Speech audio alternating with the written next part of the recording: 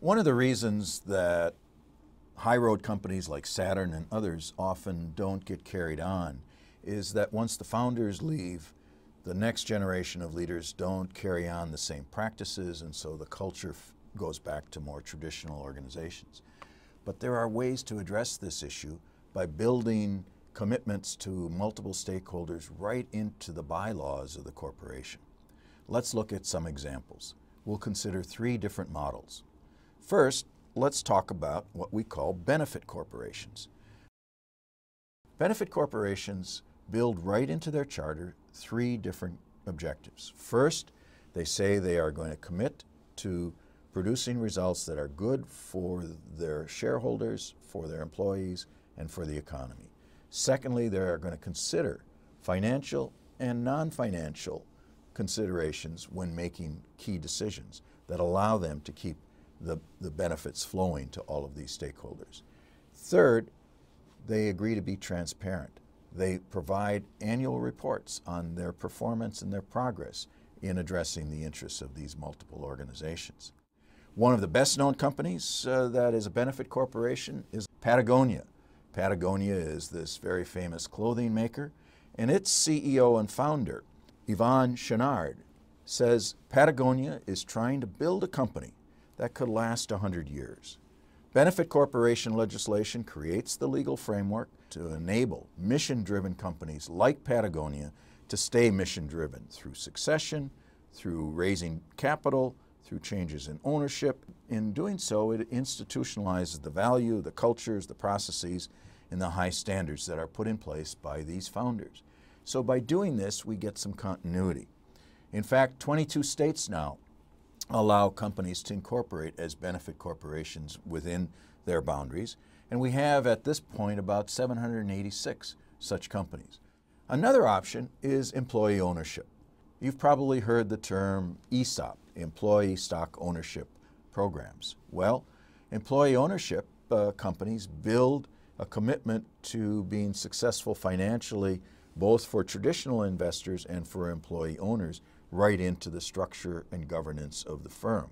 Employees often have representatives on the corporate boards of directors, but the key to success of these companies is to make employees feel like owners by building a culture of engagement, of ownership, of encouraging employees to make suggestions for improving the operations and the performance of the organization, and therefore aligning the incentives through compensation and through the culture of the organization.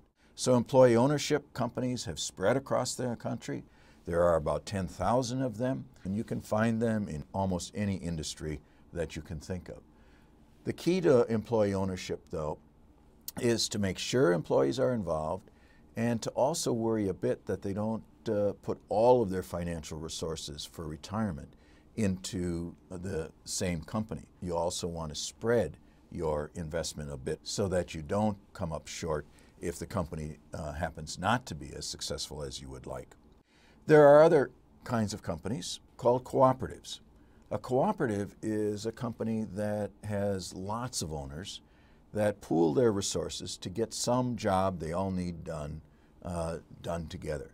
So if you happen to grow up on a farm, you may have been part of a milk cooperative where farmers pool their resources and create uh, a dairy to take the milk from their dairy cows. There are sawmills in Oregon. Here in Cambridge, we have the MIT uh, co-op and the Harvard Cooperative Society, bookstores that sell books and reference material and clothing uh, to our students and to our faculty.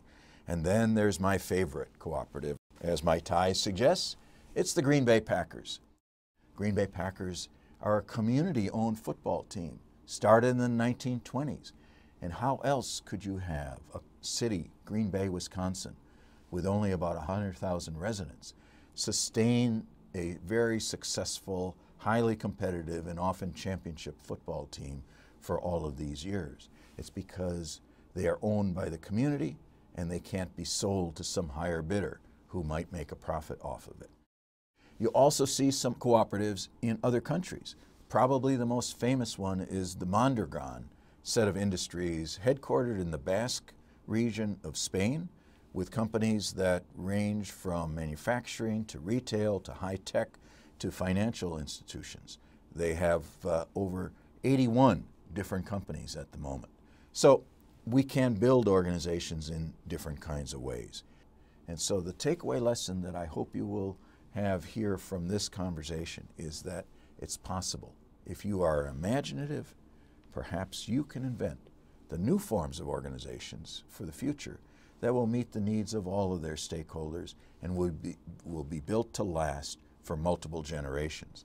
And in doing so, not only might you build organizations that work for investors, customers, and employees, but maybe ones that help to sustain our planet.